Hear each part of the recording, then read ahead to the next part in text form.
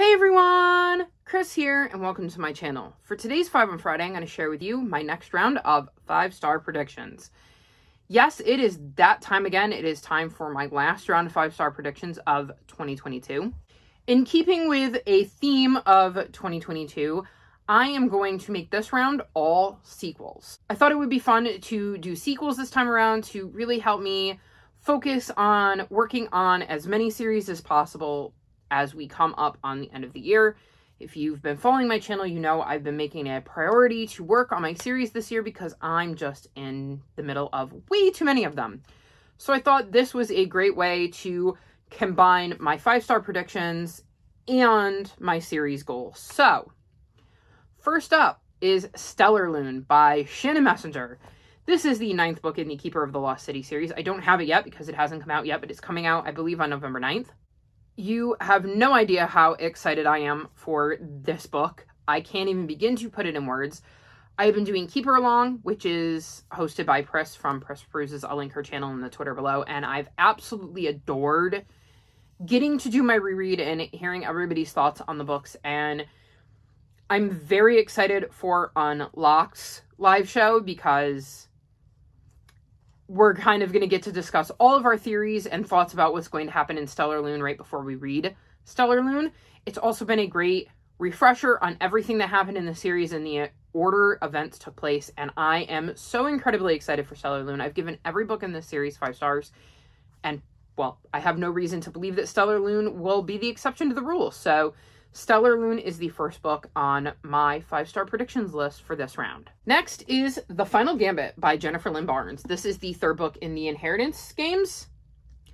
And this follows a girl named Avery who got left a like fortune from a billionaire who cut out his two daughters and his four grandsons and there's conditions on how she gets this inheritance and her thing is she's never met the man before. She has no idea why this complete stranger would leave his entire inheritance to her and i've really enjoyed kind of piecing things together and puzzling things out with avery and seeing her interactions with the dead man's family and getting to know his family and again puzzling out with avery what these people did to get disinherited. And I cannot wait to finish this series. I've really, really loved it, way more than I was expecting to. And so it seemed like a no brainer to hope that the conclusion to this trilogy would be five star worthy. So fingers crossed. And if nothing else, I will be crossing off a series because I will have completed the series. So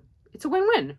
Next is Amari and the Great Game by B.B. Alston. So this is the second book in the Supernatural Investigation series.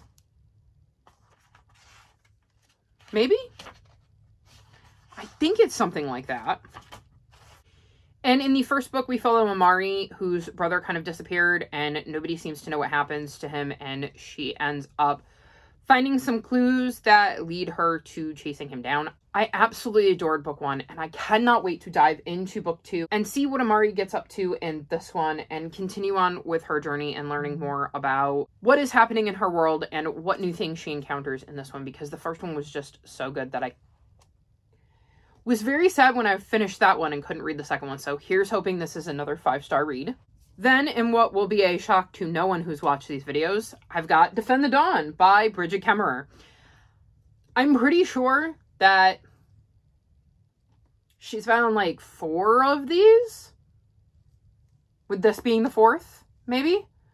Because I know I did Forging Silver into Stars.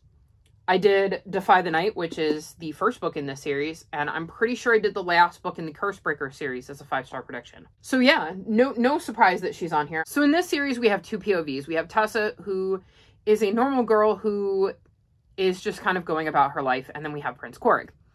In the Kingdom of Kandala, they're dealing with a kind of plague. There is a sickness going around, and there is a very specific treatment that you can take, but as the prince and, of course, his brother, the king, have to deal with the fact that they're trying to figure out a fair way to distribute it to the entire kingdom and how to do that fairly, especially when they've got to deal with other kingdoms and there's a limited amount of these moonflowers that are the main ingredient, if I remember correctly. And Tessa is part of like this underground who is getting shipments of the medicine and distributing it to poor people because well, it, the richer you are, the easier it is for you to get your hands on it. And we end up seeing things from both of their points of view and seeing how they're each handling the sickness that is spreading. That probably wasn't the best description of the book. So all of the summaries are always linked in the description below, but I, I loved book one. It's been a while since I've read it, and there's a lot of books that I've read in between, and I'm trying to remember the finer details without also giving away any spoilers. I can be very bad sometimes at summarizing books especially when they're complicated and I don't have the book in front of me. So yeah, either way, I, I really, really, really loved book one, and I'm hoping I love book two. I love Brigid Kemmerer's writing, so it's really no surprise that this is on here. So here's hoping I love this one too. And then lastly, we have The Secrets of the Stormforest by L.D. Lapinski, and this is the third book, and I think final main novel in the Strange Worlds travel agency. I believe it was announced that LD Lapinski was releasing another book for, I want to say like World Book Day or something in the UK. But I don't know whether that is like a bonus novel or whether it's like book four in the series either way, I know this is book three, and I am very, very excited to read this. In this series, we're following Flick, who has just moved to a newfound and ends up stumbling across the Strange Worlds travel agency. And once there, meets Jonathan, who is the person running this shop.